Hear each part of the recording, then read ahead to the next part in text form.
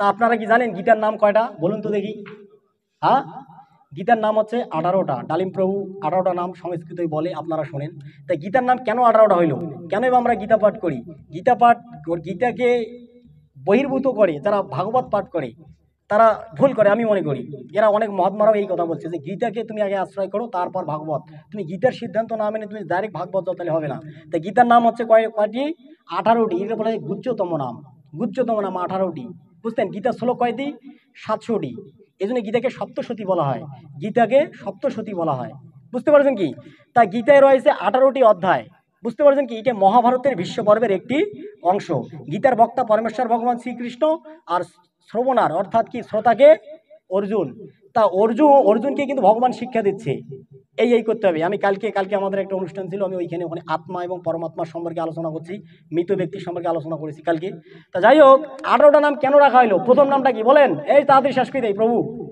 প্রথম নামটা কি? গীতার আঠারোটা নামের প্রথম নাম কি? গঙ্গা। তা বলা হলো, কেন গঙ্গা নামটা দিলেন? ভালো করে খেয়াল করবেন। আজকে যদি এই ক্লাসটা শোনেন, তাহলে আপনাদের অনেক কাজে লাগবে। গঙ্গা নাম কেন দিলেন গীতার? আজকে তো আমি গীতা পাঠই করতেছি। নাকি গীতা নাম, অর্থাৎ গঙ্গা কেন নাম দিলেন? কারণ গঙ্গাতে স্নান করলে যেমন আমাদের পাপ নাশ হয়, তেমনি গীতা পাঠ করলে আমাদের পাপ নাশ হবে। নিতাই গৌর প্রেমানন্দে একবার হরি হরি বল। কেন? কারণ আপনাদের গীতা পাঠ করতে হবে। প্রতিদিন বাড়িতে একটি করে শ্লোক হলেও আপনারা কি গীতার পাঠ করবেন, একটি করে শ্লোক। যদি শ্লোক সংস্কৃত না বোঝেন, তাহলে আপনারা কি বাংলাটা অনুবাদটা করবেন। গঙ্গা, এরপর কি? গীতা। গীতা নামটা কেন রাখা হইল? কারণ গীতা সংগীত থেকে কিন্তু কি? গীতা শব্দের উৎপত্তি। সঙ্গীতের গীত গীত শব্দের অর্থ থেকে গীতা শব্দের উৎপত্তি। তা গীত সুরারূপ করে গীতার জ্ঞান। গীতার কি? গীতার বাক্য গুরুদেবের মাধ্যমে কার শিষ্যর কাছে সুন্দরভাবে পৌঁছে দিলেন। কে? যেমন কি গীতার জ্ঞান অর্জুনকে যখন ভগবান দান করে, তখন ভগবান অর্জুনকে বললেন যে, অর্জুন, দেখো, এই গীতার জ্ঞান কিন্তু আমি তোমাকে আজকে প্রথম দান করতেছি না। আমি ইতিপূর্বে এই গীতার জ্ঞান কাকে দান করেছি জানো? সূর্যদেব বিবর্ষণকে আমি এই জ্ঞান দান করেছি। আজকে আমি তোমাকে এই জ্ঞান দান করছি, তুমি মনোযোগ দিয়ে শ্রবণ করো। অর্থাৎ গুরু শিষ্যকে সুরারূপ করে গীতার জ্ঞান যে প্রক্রিয়া দেয়, তাই হচ্ছে কি গীতা। অর্থাৎ গীত শব্দের অর্থ কি সংগীত? এই যে গীতার শ্লোকগুলো আছে না, হাঁকাও কিন্তু বললে হবে না। বুঝতে পারছেন কি? মানে সুর দিয়ে বলতে হবে। সংগীত শব্দ কি? সুর। যেমন কি সর্বধর্মান পরিত্যাজ্য মামেকং শরণং ব্রজ। এমন আবার কেউ বলতে পারে, সর্বধর্মান পরিত্যাজ্য মামেকং শরণং ব্রজ, অহম তাম সর্ব পাপেব্য মোক্ষ স্বামী মা সুচ। কিন্তু না, গীতার সিদ্ধান্ত বলতেছে না এগুলো সুর এবং তাল দিয়ে বলতে হবে। এই জন্য দেখবেন অনেক মহাত্মারা সুন্দর তাল দিয়ে কথা বলে। তা যেহেতু গীতাকে সুরারূপ করে, গীতার জ্ঞান গুরু শিষ্যকে প্রদান করে, এই কারণে গীতার আর নাম কি? গীতা। সংগীত থেকে উৎপত্তি, এই জন্য নাম কি? গীতা। গঙ্গা গীতা। তারপর কি? সাবিত্রী। কেন সাবিত্রী নামটা রাখা হলো সাবিত্রী মাতা এতটাই তিনি সতী ছিলেন যে তার মৃত স্বামীকে আবার তিনি প্রাণ দান করে দিয়েছিলেন। যেহেতু তিনি হচ্ছেন সতী, আর আমাদের গীতাকেও সতী সাবিত্রীর সাথে তুলনা করা হয় বিধায়, গীতার আরেকটি নাম কি? সাবিত্রী। গঙ্গা গীতা, সাবিত্রী। তারপর কি সীতা? এই মনোযোগ দিয়ে শোনেন। সীতা কেন নাম রাখা হলো মাতা সীতা। তার পবিত্রতা এতই অক্ষয় ছিল যে রাবণ তার কাছে গিয়েছিল, অনেক অসুর তার কাছে গিয়েছিল, তার কি পবিত্রতা ক্ষয় হয়েছে?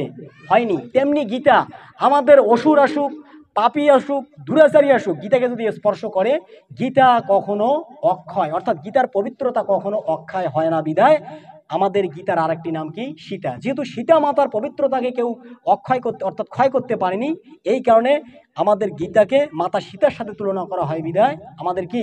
গীতার আরেকটি নাম কি? সীতা। গঙ্গা গীতা, সাবিত্রী সীতা। তারপর কি? সত্তা।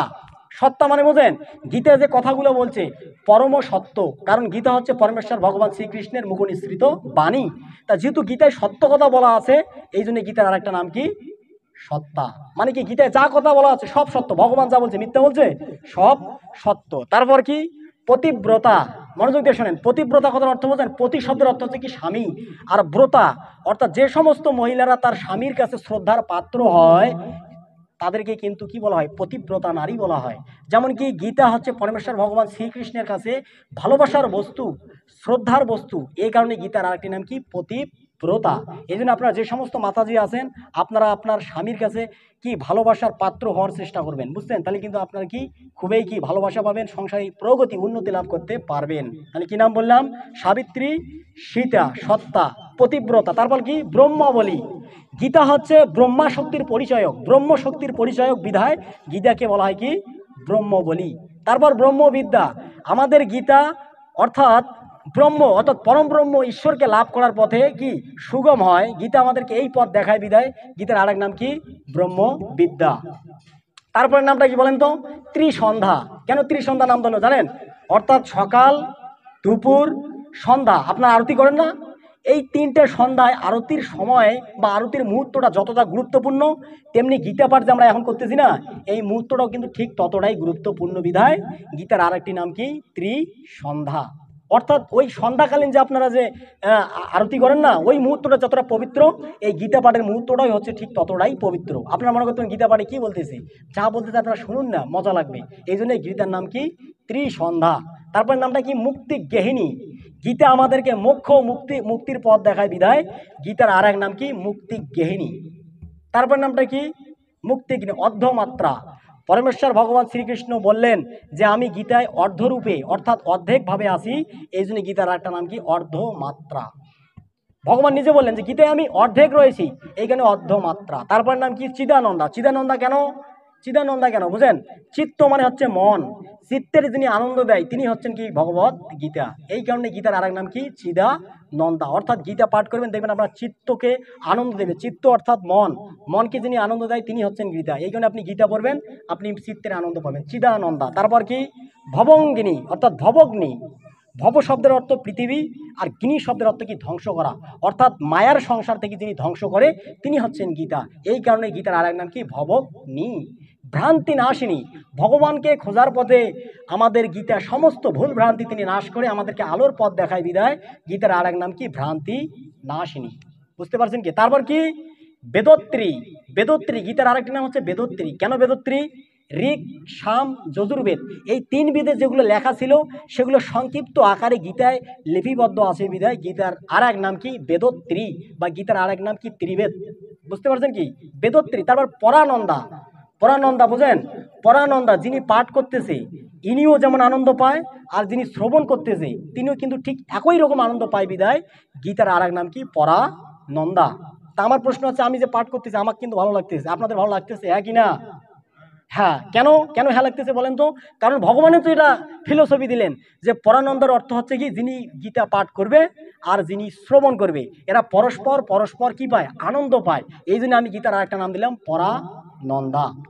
তারপর হচ্ছে কি, তথার্থ, তথ্যের অর্থ। যাবতীয় শাস্ত্রে যে আলোচনাগুলো করা হয়েছিল, যেমন আপনাদের আমি বলি, ঋষিকেশ শব্দের অর্থ কি জানেন? ঋষি ঋষি, ঋষিক। অর্থাৎ ইন্দ্রিয়, কেশ, অর্থাৎ যেগুলো দান করে, যিনি দান করছেন তাকে বলা হয় ঋষিকেশ। যেমন ভগবান আপনার চোখ, মুখ, নাক, কান দিয়েছে ভগবানকেই বলা হয় ঋষিকেশ। এই শব্দের অর্থ আপনি কোথায় পাবেন? গীতা খুলেন, পাবেন। আপনি অন্যান্য শাস্ত্রে এই, এগুলো আলোচনা হয়েছিল। গীতায়ও এগুলো আলোচনা হয়। বিদায়, গীতার আরেক নাম কি? তথার্থ তথার্থ মানে তথ্যের অর্থ। যত তথ্য আছে, তার অর্থ আপনি কোথায় পাবেন? গীতায় পাবেন। আর একটা জিনিস আমি বলি, তথ্যের অর্থটা কীরকম জানেন? এই স্বপনদা মারা গেল। শোনেন, এটা কিন্তু আপনাদের বহুদিন কাজে লাগবে। ফেসবুক চলাইলে হবে না। আপনারা যে কত ভুল করেন দেখেন। হ্যাঁ দিব্যান লোকান কি স গচ্ছতু তা স্বদেশ স্বদেশ শব্দের অর্থ কি? নিজের দেশ। শয় ব দন্ত শয় ব এই স মানে নিজে। এই স মানে কি? নিজে। আর শুধু স আবার আপনি বিসর্গ লাগাইতে পারেন। এটা হচ্ছে কি? যিনি মারা গেল। এখন আমাদের ছেলেপেলে আমি দেখতেছি কি মানে ফেসবুকে দেখতেছি, সবাই লিখতেছি কি, দিব্যান লোকান স মানে কি? দন্ত শয়বা গচ্ছতু। তার মানে কি? হে ভগবান, আমি যেন দিব্য লোকে গমন করি। স মানে কি নিজে? উনি লিখতেছে নিজে স গচ্ছতু। মানে কি? হে ভগবান, আমি যেন নিজে দিব্য লোকে গমন করি। কিন্তু না, ওখানে দন্ত শয়বা না হয়ে শুধু স হবে। আমি অনেকজনকে কমেন্ট করছি যে, প্রভু, আপনি যে স দিয়েছেন মানে আপনি কিন্তু ভগবানের কাছে প্রার্থনা করতেছেন যে, ভগবান, আমি যেন নিজে দিব্যলোক গমন করি। অনেকজনকে আমি অনেক শিক্ষিত শিক্ষিত ছেলেকে দিয়েছি। আমার স্যার সম্পর্কে হয়। তারা, তারাও কোনো আর উত্তর দিতে পারে নাই। বরঞ্চ পক্ষান্তর আরেকটি উত্তর কে এলো জানেন? কয়েছে বলরাম বলে লেখার সময় নাই, ওই সবাই দেয় তো, ওই কপি কপি করি বলে পেস্ট করা যায় নাকি? কয়েছে পেস্ট করিয়ে বসে দিছি হামাও। হামা হলে কি বুঝি? যে এখন বুঝলি তো, অর্থাৎ দন্ত শয়বা বসা যাবে না। অর্থাৎ তাহলে আপনি নিজে বলতেছেন ভগবান, আমি যেন দিব্যলোক গমন করি, ওখানে শয়বা বসা যাবে না, ওখানে শুধু স বসাইতে হবে বা বিসর্গ। ব্যাপারটা কি বুঝছেন? এই জন্য আপনারা এই দিকটা লক্ষ্য করবেন। আপনি কি বলতেছেন? এই জন্য এমন কিছু কথা বলবেন না। আমাদের অনেক হিন্দু আছে, এমন কিছু কথা বলে আমাদের ধর্ম সম্পর্কে। মানে কি? ভাই এখন বলেছে তোর বাবা কয়টা কয়েছে ওলার হিসাব নাই, বাপ যে কয়টা মানে কি এই কথা কোয়া যায়, নিজের কতটা ক্ষতি করে লাগল বোঝে নাই। সেরকম যে লেগেল দিব্যান লোকান স্বগচ্ছতু ওই যে কি করে লাগল নিজেও জানেন না, অতএব এই তত্ত্বটা আমাদের জানতে হবে। অর্থাৎ তথার্থ তথ্যের অর্থ, গীতা খুললে আপনি সমস্ত তত্ত্বের উত্তর পাবেন। গুড়াকেশ গুড়াকেশ কাকে বলা হয় জানেন? অর্জুনকে ঘিরে গুড়াকেশ বলা হয়। কারণ অর্জুন তার কি, ইন্দ্রগিলে সরি, তিনি নিদ্রাকে জয় করেছিলেন বিদায়। অর্জুনের আরেক নাম গুড়াকেশ এই তথ্যগুলো কোথায় পাবেন? গীতায় পাবেন। অর্থাৎ তথ্যের অর্থ তথার্থ। অর্থাৎ এই গীতার ওই জন্য এক নাম কি? তথার্থ। অর্থাৎ তথ্যের অর্থ আপনি গীতায় পাবেন, এই জন্য তথার্থ। এখন জ্ঞান মঞ্জুরি জ্ঞান মঞ্জুরি বোঝেন? জ্ঞান মঞ্জুরি, অর্থাৎ ফুলের যে পাপড়ি আছে না, পাপড়িগুলো যে একটার পর একটা গচ্ছিত থাকে, তেমনি গীতায়ও কিন্তু জ্ঞানগুলো ওইভাবে একটার পর একটা গুচ্ছ আকারে জড়িয়ে আছে। এই কারণে গীতার এই আঠারোটি নাম হচ্ছে কি, জ্ঞান মঞ্জুরি, অর্থাৎ জ্ঞানের ভাণ্ডার এখানে রয়েছে। জ্ঞানের মঞ্জুরি আছে গীতায় এইখানে গীতার আরেক নাম কি, জ্ঞান মঞ্জুরি। এই জন্য আমি আপনাদেরকে সংক্ষিপ্ত আলোচনা করলাম যে গীতার আঠারোটি নাম, এমনি এমনি ভগবান দেয় নাই নামের ব্যাপার আছে। হ্যাঁ? পরানন্দা, আমি আজকে আমার এই পুলি পুলিশ দা লেখছে যে গীতা কি জয়? ওয়ও লেখছে গীতা কি জয়? তা আমি লিখলাম পরানন্দা কি জয়। বলেছে, ভাই, নিন্দে করলু? দেখেন তো, গীতার আরেক নাম পরানন্দা, আমি লিখছি পরানন্দা কি জয়। বলেছে, কোনো খারাপ কিছু বলিনি? কিন্তু না, গীতার তো আরেক নাম পরানন্দা। তাহলে দেখেন, এই যে জানতে হবে, না জানিয়ে হাকাও কথা বলা যাবে না। এই না জানিয়ে কথা বলা যাবে না, কেন জানেন? যে আপনার চিত্রকেতু রাজার কথা বলি। চিত্রকেতু রাজা একবার আনন্দে আনন্দে, দিব্যানন্দে দিব্য বিমানে যাচ্ছেন। সাবিত্রী সাবিত্রীকে এই কমণ্ডলুতে অর্থাৎ উরুতে বসে শিব কি ভাগবত কথা পাঠ করতেছে। মনোযোগ দিয়ে শোনেন। তাহলে আপনারা বুঝতে পারবেন যে আমরা না বুঝে কোনো কথা বলব না। তা উরুতে বসিয়ে, পার্বতীকে উরুতে বসিয়ে কি বাবা ভোলানাথ কি শাস্ত্র গ্রন্থ পাঠ করতেছে। নারদ মুনি ছিল, ব্রহ্মা ছিল আরও অনেক অনেক ছিল। রাজা জম ছিল, সবাই ছিল। তাই চিত্রকেতু রাজা ওই দিব্য বিমানে যেতে যেতে যেতে বড় বৃক্ষের কাছে দেখতেছে, এভাবে তিনি পাঠ করতেছে। তা চিত্রকেতু রাজা বলতেছে, বৈষ্ণবদের মধ্যে শ্রেষ্ঠ বৈষ্ণবকে শিব। তা শিব যদি তার স্ত্রীকে চরুতে বসিয়ে শাস্ত্রগ্রন্থ আলোচনা করে, তাহলে সাধারণ মানুষের কি দশা হইবে? আরে, এ তো পাপাচারী। চিত্রকেতু রাজা বলতেছে। ওই চিত্রকেতু রাজাও কিন্তু কি, কৃষ্ণ ভক্ত। বলতেছে কি, এ তো পাপাচারী। হ্যাঁ আরে, এর মতন কি একজন বৈষ্ণব যদি এভাবে স্ত্রীকে তার চরুতে বসিয়ে শাস্ত্রগ্রন্থ আলোচনা করে, তাহলে সাধারণ মানুষের কি হবে বলতেছে, না, আপনি এটা অন্যায় করতেছেন। বলতে আছে, কিন্তু একটার পর একটা কথা বলতেই আছে যে, না, আপনি সমাজের জন্য কলঙ্কিত অধ্যায়। বলতে বলতে শিব কিন্তু হচ্ছে কি জানেন? হ্যাঁ শিব কিন্তু কারও কথায় কি সহজেই কিন্তু মন খারাপ করে না। উনি কি বলেন বলেন। উনি কিন্তু কি আপনার কথায় কোনো কিছু মনে করবে না। তা পার্বতী মাতাজিরা তো অন্য, অল্প একটুতে প্রদান্বিত হয়। পার্বতী তৎক্ষণাৎ একেবারে উড়ু থেকে উঠিয়ে বলেছে এ বর্ষ, তুমি আমার স্বামীকে তুমি অবজ্ঞা করেছ, অবহেলা করেছ, আমি তোমাকে কি দিলাম? অভিশাপ দিলাম। তুমি কি? পশুজনী প্রাপ্ত হও। তুমি অবশ্যই পশুজনী প্রাপ্ত হবে। বুঝতে পারছেন কি? আর যখন এই এই অভিশাপ দিলেন আর চিত্রকেতু রাজা বলেন হে মাতা, আমার অপরাধ হয়ে গেছে। আপনি কৃপা করে আমার অপরাধটা কি করেন? খণ্ডন করেন। তখন এই কথা বলে চিত্রকেতু রাজা ওখান থেকে চলে গেলেন। শিব উঠে বললেন, পার্বতী, দেখো, এই আমার ভক্তের মহিমা। আমার ভক্তরা কিন্তু আমার মতোই শান্ত হয়। তুমি যে তাকে অভিশাপ দিলা, সে কিন্তু তোমাকে অভিশাপ দেয়নি। তারও কিন্তু ক্ষমতা ছিল তোমাকে আশীর্বাদ দেওয়া, কিন্তু দেয় সরি অভিশাপ দেওয়া, তোমাকে কিন্তু তা দেয়নি। কেন দেয়নি বলো তো? কারণ এটাই হচ্ছে আমার ভক্ত। পার্বতী, তুমি কিন্তু হেরে গেলে। কেন? কারণ সে কিন্তু তোমাকে অভিশাপ দেয়নি, বরঞ্চ তোমাকে আরও প্রণাম করেছে। তৎক্ষণাৎ মাতা পার্বতী কি জিভাতে কামড় দিয়ে তিনি কি? অর্থাৎ ঘোমটা দিয়ে তিনি তৎক্ষণাৎ আবার বসে পড়েছেন। বুঝলেন কি? এই গল্পটা থেকে আপনারা কি শিক্ষা গ্রহণ করবেন জানেন? যে না দেখে কোনো কিছু আপনারা বলবেন না। তার মানে কি? চিত্রকেতু রাজা এসেই দেখতেছে যে কি পার্বতী ভোলানাথের চরুতে বসে ধর্মগ্রন্থ পাঠ করতেছে। তা আসলে কি? শিবের নাম হচ্ছে জিতেন্দ্রীয়। তিনি সমস্ত ইন্দ্রিয়কে জয় করেছেন। তা তিনি কি ওনার স্ত্রীকে এখানে নিয়ে ভগবত কথা মানে পাঠ করতেছে? এটা কি আপনাদের চোখে খারাপ মনে হচ্ছে? না, অবশ্যই কোনো কাহিনী রয়েছে। এখানে ভোলানাথ রয়েছে, না সরি ব্রহ্মা রয়েছে, নারদ রয়েছে, তাদের থেকে কি সে বড় পণ্ডিত হয়েছে? না। এই জন্য আপনাদের কোনো কিছু দেখে, শুনে, না বুঝে আপনি কোনো কথা বলতে পারবেন না। আগে ঘটনাটা বুঝতে হবে যে, না মাতাজি যে ওখানে বসলেন। কেন বসলেন? আপনাকে আগে রিসার্চ করতে হবে, তারপর পর্যবেক্ষণ করতে হবে, তারপর সিদ্ধান্তে উপনীত হতে হবে, তারপর ফলাফলে আসে আপনি বলবেন যে এই এই, আমি বুঝলাম। আমরা প্র্যাকটিক্যালে সায়েন্স যখন প্র্যাকটিক্যাল করি, প্রথমে বলতে বলতেছে বর্ণনা, সাবধানতা, সতর্কতা, ফলাফল। কি প্রভু, তাই না? ফলাফলে এসে আপনাকে বলতে হবে যে এই এই আমরা পাইলাম।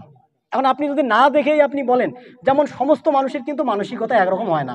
চিত্রকেতু, রাজার মানসিকতা ওই রকম সিলাই বিধে ওই কথাটা তিনি বলেছেন। সবার মানসিকতা এক হয়। যেমন আমি যদি একটা মেয়েকে নিয়ে রাস্তা দিয়ে হেঁটে যাই, প্রভু শিক্ষিত বলবে, হয়তো বান্ধবী হবে।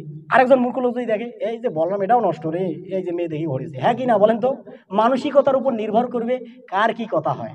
বুঝতে পারছেন কি? মানসিকতা, যার যেমন মানসিকতা হয়, তার ঠিক কথাবার্তাও ঠিক সেরকম হয়। বুঝতে পারছেন কি?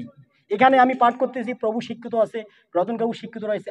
ওনারা আমার কথাগুলো একভাবে নেবে, আর যারা কম ক্লাসে লেখাপড়া করেছেন, তারা কিন্তু একভাবে নেবে। বুঝতে পারছেন কি? এটাই হচ্ছে সত্য কথা। যাই হোক, আমরা বেশি কিছু বলব না।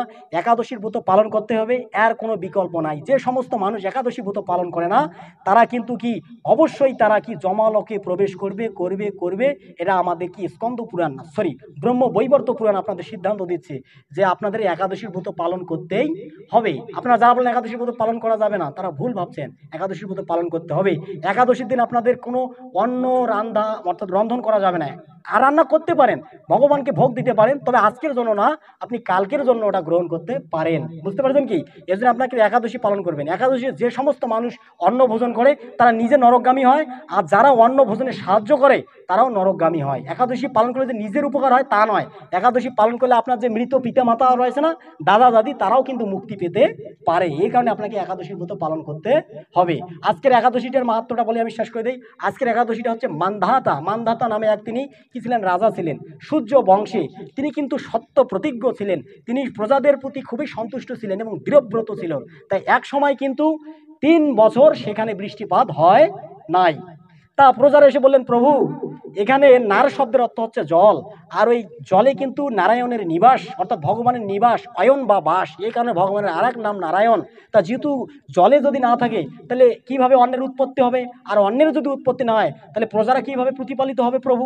তা বলতেছে হ্যাঁ তোমরা তো ঠিকই বলেছ। আমি আমার নিজের দোষে কোনো অপরাধ খুঁজে পাচ্ছি না। কথা ঠিক। তারপর তিনি ব্রহ্মাকে প্রণাম করে বনে গমন করতে লাগলেন। বিভিন্ন ঋষির আশ্রমে ঘুরতে ঘুরতে তিনি একসময় ব্রহ্মার পুত্র অঙ্গিরা ঋষির আশ্রমে কি উপস্থিত হলেন? তিনি অঙ্গিরা ঋষির পাদ সেবন করলেন, পাদ অর্থাৎ ওনার পায়ে কি প্রণাম করলেন, তার স্তুতি করতে লাগলেন। তা তিনি অঙ্গিরা ঋষি তাকে বলতে লাগলেন যে রাজস্বী তোমার বনে উপস্থিতির কারণ কি? তিনি বললেন, হে প্রভু, তিন বছর যাবৎ আমাদের অত্র এলাকায় কোনো বৃষ্টিপাত হয়নি। আর বৃষ্টিপাত হয়নি বিধায় আমাদের অন্ন উৎপন্ন হচ্ছে না। আর অন্ন উৎপন্ন হচ্ছে না বিধায় আমাদের প্রজা পালিত হচ্ছে না। অতএব আপনার কাছে আমি কৃপা কৃপা করে আপনি বলুন, এর কি কি, এর সমাধানটা কি? তা তিনি বললেন, অঙ্গিরা ঋষি বললেন যে, দেখো এটা কিন্তু সত্যযুগ। এই সত্যযুগে শুধু ব্রাহ্মণরাই বেদ পাঠ করবে। বুঝতে পারছেন কি? অন্যরা কেউ বেদ পাঠ করতে পারবে না। তা তোমাদের অত্র এলাকায় এক বৈশ্য ছিল। সেই বৈশ্য কিন্তু তপস্যা করেছে। এর ফলে তোমাদের এই গতি হয়েছে। তা তোমরা যদি ওই বৈশ্যকে হত্যা করতে পারো, তাহলে তোমাদের এই পথ থেকে তোমরা মুক্তি পেতে পারো। অতএব তোমাদের স্থানে বৃষ্টি হতে পারে। তা দেখুন, ওই মহ, অর্থাৎ রাজা মানধাতা বলেন, হে প্রভু, উনি তপস্যাকারী তো নিরপরাধ। আমি কীভাবে তাকে হত্যা করব? আপনি কৃপা করে আমাকে অন্য একটি পথ, সহজ পথ বলে দেন। তা বলছে, দেখো, এটা কি মাস? আষাঢ় মাসের শুক্লপক্ষে শয়ন নামে একটি একাদশী আছে। আপনি যদি শ্রদ্ধা সহকারে আপনার প্রজাদের সহকারে এই একাদশী পালন করেন, তাহলে আপনাদের অবশ্যই বৃষ্টি হবে এবং কি? অন্ন কি হবে? উৎপন্ন হবে, ফসল উৎপন্ন হবে, সেই অন্ন খেয়ে আপনারা জীবনযাপন করতে পারেন। তা দেখেন তো, এই একাদশী কতটা ফল? তিন বছর বৃষ্টি হয়নি, এই একাদশী শ্রদ্ধা সহকারে পালন করলেন, বৃষ্টি হইলেন। এটা হচ্ছে তার একাদশী আজকের মাহাত্ম। তো এই জন্য আপনারা একাদশীর ব্রত পালন করবেন, একাদশীর ব্রত পালন করলে আপনারা অনেক ফল পাবেন, অনেক ফল। না চাইতে অনেক কিছু পারবেন। যাই হোক, আমরা আর কিছু বলব না। আর আপনারা প্রতিদিন একাদশী অনুষ্ঠানে আসবেন। একদিন আপনাকে মরে যেতেই হবে। আপনাকে মরে যেতেই হবে। এই কারণে আপনি যতটুকু পারেন, আপনি এসে একাদশীর ব্রত পালন করেন, সাধু সঙ্গ করেন। বুঝতে পারছেন কি? তাহলে আপনাদের উপকৃত হতে পারেন। আপনি যে দেহটা দেখতেছেন, দেহটা আপনি নন। আপনি হচ্ছেন আত্মা চিৎময় আত্মা সৎচিত আনন্দময়। মরার পর আত্মা চলে যাবে ভগবানের কাছে, যেখানে যাওয়ার জন্য প্রাপ্ত হয়। আর এই দেহটা কিন্তু আপনার যাবে না। যাবে? আপনি এই দেহ নন। আমার প্রশ্ন, বাবুরামকে আমি বিকালে বললাম, যারা বলেন আমি এই দেহ, তা মরার পর কেন আপনার স্ত্রী আপনার ওই দেহটাকে কিস করে না? মানে বোঝেন, আদর করে না? প্রশ্ন, আপনি যারা যারা বলেন, এই দেহটা নিয়ে গৌরব করেন, আপনি যখন মারা যান, তা আপনার স্বামী, অর্থাৎ আপনার স্ত্রী যদি আপনাকে এতই ভালোবাসে, তা ওই দেহটাকে আদর করতে বলেন তো, দেখি করবে? কেন করবে না বলেন তো? কারণ আত্মা আছে বিধায় আপনার এই দেহটির মূল্য রয়েছে। আত্মা যদি বের হয়ে যায়, আপনার এই দেহকে আপনার সন্তানও নাড়বে না। স্ত্রী তো আদর করা দূরের কথা। কারণ উনিও জানে যে এখানে আর আর আদর করার মতো কিছুই নেই। অতএব এই এই দেহের গৌরব না করে না, আপনি আত্মার গৌরব করুন। আমি হচ্ছে আত্মা হ্যাঁ? কৃষ্ণের নিত্য দাস, আমি আত্মা।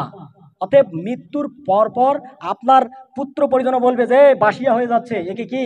শ্মশানের চিতায় জ্বালাও। এটা আপনাদের বুঝতে হবে। এই দেহের গৌরব করে লাভ নাই বাবা। এই জন্য আপনাকে একাদশী ব্রত পালন করতে হবে। তাহলে আপনারা বুঝতে পারবেন যে আমরা কি কি বলতে চাচ্ছি আর কি কি গ্রহণ করতে চাচ্ছি। যাই হোক, আমরা আর কিছু বলব না। আমরা হরিনাম দিয়ে শেষ করব। রায় আমাদের দশটা, দশ বাজে গেছে, তাই তো? যাই হোক, আমরা হরিনাম দিয়ে শেষ করব। তাই তো প্রভু? আর আপনারা সবাই একাদশীতে আসবেন, একাদশীর ব্রত পালন করবেন। আর আরেকটি কথা আমি বলি, এই অনেকে আছে, একাদশী থাকে না বিধায় অনুষ্ঠানে আসে না। এই আমাদের যেমন কি কাকু? বিপুল কাকু। আমি তদন্ত করে বুঝলাম যে কয়েছে যে আমি একাদশী থাকি না, এই জন্য একাদশী অনুষ্ঠানেও আসি না। না, এটা করা যাবে না, আপনি আসবেন। আস্তে আস্তে আপনার রুচি হবে, তখনই আপনি একাদশী থাকবেন। এখন আপনি যদি একাদশী এরা না আসেন, তাহলে তো আপনার কি? হ্যাঁ? আপনি একাদশী থাকতে পারবেন না। আসতে হবে, আপনাকে সাহস বাড়াতে হবে, তাহলে আপনি পারবেন। ওই যে বললাম, আপনাকে আগে আসতে হবে, মালা পরতে হবে, তারপর আপনার আচরণগুলো আপনার মাঝে এমনি চলে আসবে। হরি বল